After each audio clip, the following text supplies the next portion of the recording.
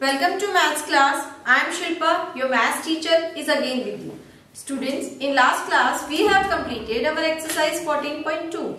In this class we are going to start exercise 14.3. So let's start from question number 1. Draw any line segment PQ. Without measuring PQ, construct a copy of PQ. आपको क्या करना है आप use तो ruler का ही करेंगे एक आपको लाइन ड्रॉ करनी है इसकी हेल्प से आप एक लाइन सेगमेंट ड्रॉ करेंगे। देखो सॉल्व फ़र्स्ट को कैसे सॉल्व करेंगे? मुझे नहीं पता इस पीक्यू की कितनी लेंथ है। मैंने क्या किया? एक पीक्यू लाइन सेगमेंट ड्रॉ कर दिया। ठीक है? हमने इसे मेजर भी नहीं किया। बट हाँ ये एक स्केल की हेल्प से किया था। तो हमने इसको ड्रॉ कर दिया स्ट्रेट लाइन को। अब मुझे जस्ट इसकी एक एग्जैक्ट कॉपी बनानी है। तो अब मुझे बिना मेजर किए तो बनानी है। तो यहाँ पे मैं क्या करूँगी? इसकी कॉपी बनाने के लिए मैं अगेन कंपास का यूज़ करूँगी। देखिए अब इस कंपास को यूज़ करने के लिए कैसे करेंगे? एक लाइन ड्रॉ कर लेना, जो डेफिनेटली इससे बड़ी हो, ठीक है? इसकी कॉपी लेनी है तो पी क्यू पी पॉइंट रखेंगे। अपने कंपास से इसका मेज़रमेंट करना। कंपास की नीडल को यहाँ रख के और पेंसिल से इसका मेज़रमेंट करना कि कितना आया मतलब उतना आपको वाइड खोल देना है। आपके इस पॉइंट से लेके इस पॉइंट तक वो जो लाइन आपने ड्रॉ करी है, वो मेज़रमेंट तक आपको अपना कंपास ओपन कर लेना है। ठीक है? अब क्या करेंगे? जो इस पॉइंट पे आप रखेंगे और एक यहाँ पे आर्क देंगे जो हमने प्रीवियस क्लास में सीखा है। यहाँ पे और पे कंपास की निडल रखेंगे और एक आर्क इस तरीके से देंगे। सेम इसी मेज़रमेंट का आपका कंपास ओपन होगा और इस पॉइंट से आप कंपास का जो ओपन किया हुआ था उसे चेंज नहीं करना। एक पॉइंट यहाँ पे आर्क करेंगे। तो जो ये पॉइंट मिलेगा ये हमें क्या मिलेगा? पी क्यू ही मिलेगा। तो ये लेंथ और ये लेंथ आपकी इक्वल होगी चाहे आप बाद में रूलर की हेल्प से उसको मेजर करके देखेंगे तो सिमिलर ही आपको मिलेगा।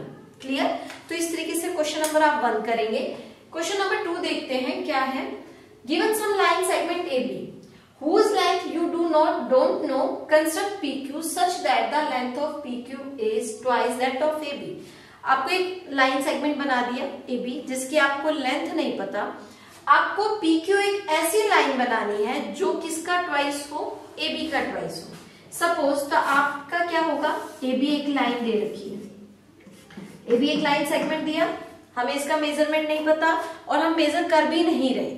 ठीक है? हमने अगेन वही प्रोसेस करना है क्या, कि हमें क्या लेना है? एक कंपास से अपना उस पॉइंट तक का खोलना है। ओपन करना है अपना कंपास ए बी तक का। उस ए बी के मेज़रमेंट का आप कंपास ओपन कर लेंगे। फिर एक लंबी सी लाइन ड्रॉ करेंगे। एक पॉइंट ए बी का बनाना है, हमें पी क्यू ना है कैसा तो इस पॉइंट पे हम क्या करेंगे? एक आर्क देंगे। यहाँ से आर्क दिया। वो तो वन टाइम दिया तो अभी तो हमने ए बी तक का ही मेज़रमेंट लिया। हमें क्या बनाना है? पी क्यू को उसका ट्वाइस बनाना है। यानी एक बार और इसी मेजर का आर्क देंगे। यहाँ से एक और आर्क लगाएँगे। इस पॉइंट पे नीडल को रख के फिर से आर्क लगाएँगे और इस पॉइंट को क्या नेम देंगे?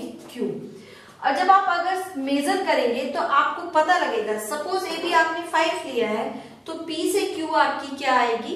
टेन सेंटीमीटर आएगी। ठीक है? आप करने के बाद उसे मेजर करेंगे कि आपने जो ये कंस्ट्रक्ट किया है, वो सही है या नहीं। तो आप अगर एक स्केल को मेजर करते हैं सपोज़ फाइव आती है सपोज़ थ्री आती है तो डेफिनेटली पी क्यू आपका, उसका जस्ट डबल आना चाहिए। क्लियर तो इस तरीके से आपको 14.3 के जो क्वेश्चन नंबर वन और टू है, वो आपको नोटबुक में करनी है।